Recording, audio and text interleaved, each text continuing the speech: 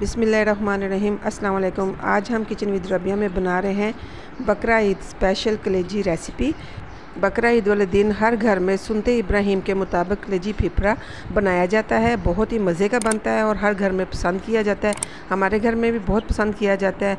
हम भी बनाते हैं, छोटे, बड़े, सब मिलके खाते हैं। बहुत मज़ेदार होता है। तो सबसे पहले मैंने कलेजी ली थी आधा किलो। इसे मैंने चार से पाँच पानी अच्छे से धो लिया था। इसका ब्लड निकल चुका है। मज़ीद ब्लड है, वो किस तरह निकालना मैं आपको बता दूँगी। फेफड़े को भी अच्छे से मैंने चार से पाँच पानी धो लिया था और ये आगे दिल की बोटी है, इसे भी मैंने तीन से चार पानी धो लिया था।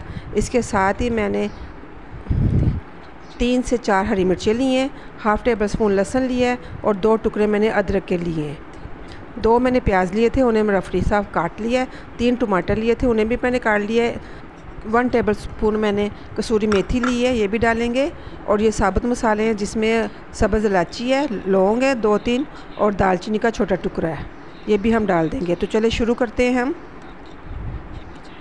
कढ़ाई में मैं इसे बनाऊँगी। एक बर्तन में मैंने पानी रख दिया था गर्म होने के लिए। इसमें मैं कलेजी को मज़ीद साफ़ करने के लिए डाल दूँगी। अभी ये हल्का सा गर्म है, इसमें मैं कलेजी डाल दूँगी।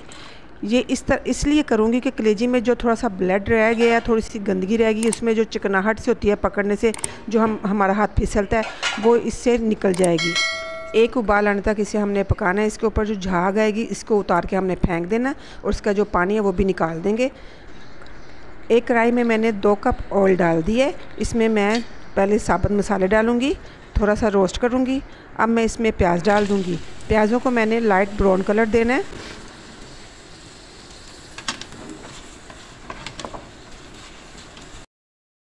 ये देख सकते हैं, आप ऊपर झाग आ गई है। ये सारी झाग को हम किसी स्टेनर से उतार देंगे और पानी भी निकाल देंगे कलेजी में से और कलेजी को एक स्टेनर में डाल के नुचड़ने के लिए रख देंगे। तो प्याज हमारे गोल्डन ब्राउन हो चुके हैं। इसमें अब हम डाल देंगे फिपरा फिपरे को पहले मैं पकाऊँगी क्योंकि फिपरा थोड़ा सा हार्ड होता है, ये थोड़ा टाइम लेता है। कलर चेंज हो चुका है, अब इसमें हम मसाले डालेंगे।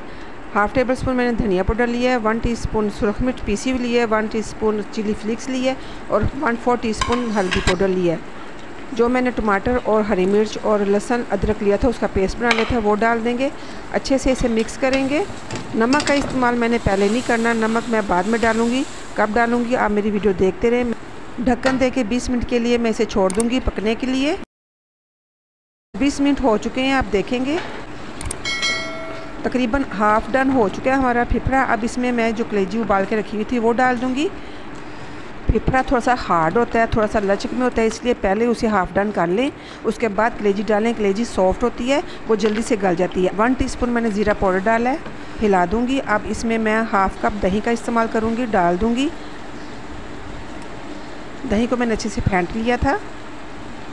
इसे मिक्स करेंगे और मज़ीद पकने के लिए रख देंगे। तकरीबन 20 मिनट के लिए। आखिर में मैंने ये नमक का इस्तेमाल किया। नमक मैंने हाफ़ टेबल स्पून डाला। है आप अपने टेस्ट के हिसाब से ज़्यादा कम कर सकते हैं।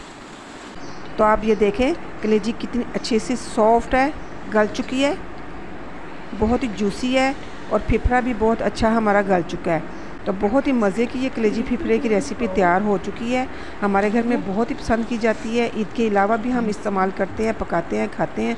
बहुत ही मज़े की होती है। आखिर में हम ये कसूरी मेथी है जो वो हम हाथों की मदद से क्रश करेंगे, ऊपर डाल देंगे।